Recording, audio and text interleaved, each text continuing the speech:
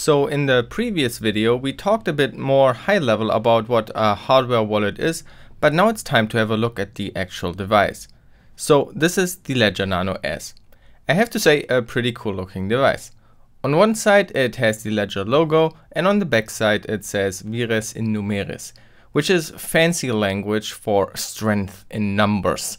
So let's hit the subscribe button to get that number up. Just kidding.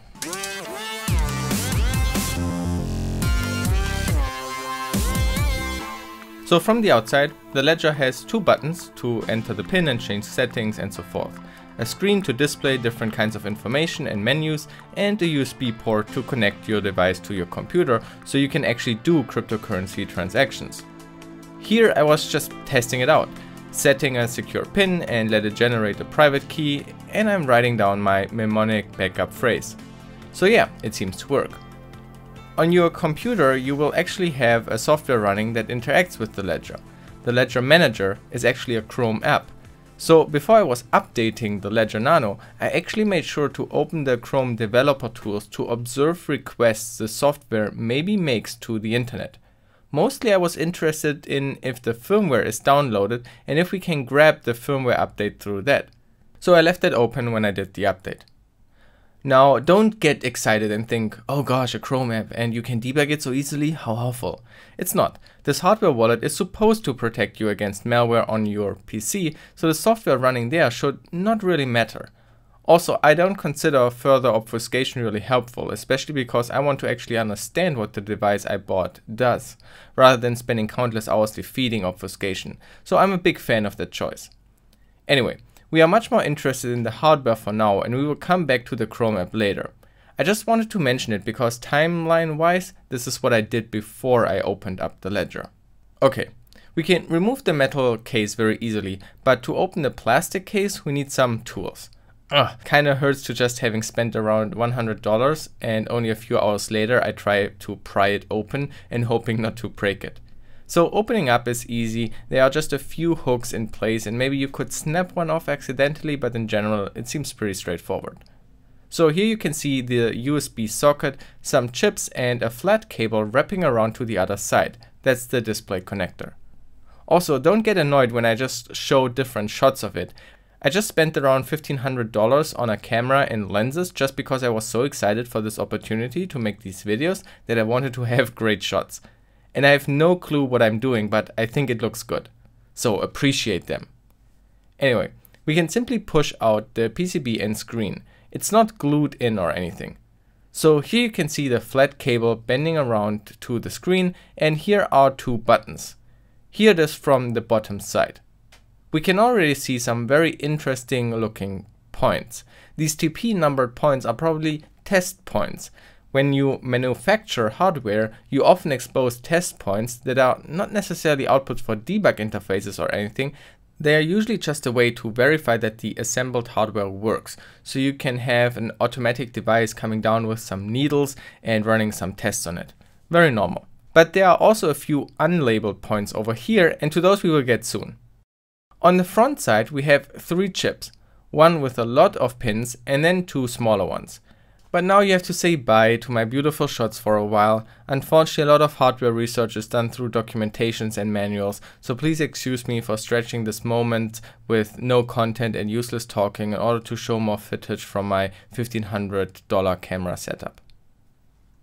A PCB might look very intimidating and you feel like you have no clue what to do now. This is just dark magic, but there's always stuff you can do. Most chips, especially on typical small devices like this, are nothing special. They are bought from huge manufacturers and you can just look up what these chips are for. You don't need to understand how to build hardware with them in order to get an understanding of what does what. The most prominent and biggest chip here is this one. When you Google the first cryptic number, the F042K66, you find a bit of information. I mean, the Ledger is a known device using this chip, so many other people have documented that already. But let's assume these results weren't here, because it's a different device. Then you would find some traces about STM32F042K6. The last 6 is missing, so when you search for that, the results are a lot clearer. STM32F042K6 is an ARM chip. And on the official information page of ST Microelectronics, you can also find the ST Microelectronics logo, the ST, and it's here on the chip. So yeah, pretty sure that's the chip, or at least from the same family. So it's very likely the documentation you find here is very relevant. This is just a typical microcontroller. Actually it's ARM, so it's a different architecture from the microcontroller we have seen before on this channel, that was AVR. Anyway, so this is an ARM 32-bit Cortex M0 CPU, runs with up to 48 MHz, has 16 to 32 kilobytes of flash memory, so that's basically persistent memory where the program code is stored, and 6 kilobytes of SRAM, so RAM. So there's not much RAM on there. Other interesting features for us might be that it can speak USB. It has two serial connections, and we know serial, we have used serial several times before with the AVR stuff and it supports the Serial Wire Debug Protocol, SWD. Hmm, stuff like that is obviously very interesting for research. But let's move on and have another look at the board. Do you see here those two lines going from the USB to the microcontroller? So it looks like USB is directly communicating with this ARM processor. And the one button here looks also to be directly connected to this chip. So this chip seems to be kind of to be the main component. It handles the USB communication, the button presses, and looks like these lines here are also connected to the display. So it seems like it also controls the display. Also now that we know the ST logo, we know the second chip here is from the same manufacturer. But when you try to search for those labels, you can't really find anything. Also is that NB0, NB0, N80, N80, as you know, I'm not super into electronics, so I can only speculate, and I assume this is a generic label because this is actually the secure element. On the Ledger Wallet website, it states that two chips are used, the STM32F042, which we already identified, and the ST31H320, secure. There's only one other chip here under the display cable, and that one is also from ST, and it's a ST8R00W, which is a synchronous Typo, typo, missing age, literally a garbage product. It's a boost converter with output current cutoff function. No idea what that is, but it's doing some electronics magic. Maybe it's required to drive the display. As you can see, it's just an analog component and not a digital microcontroller or so. So this means this one has to be the secure element, the ST31H320. This chip is designed for secure ID, so for secure identification in banking applications. So for example, this could be inside a smart card, like your typical banking chip card, and you can identify yourself to the bank. The ST31H platform products are serial access microcontrollers, which I think means it communicates via serial interface with other components that incorporate the most recent generation of ARM processors for embedded secure systems.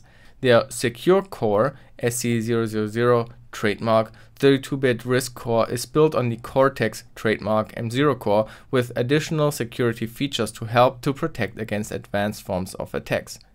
In hardware speech, a core is basically like a library in software.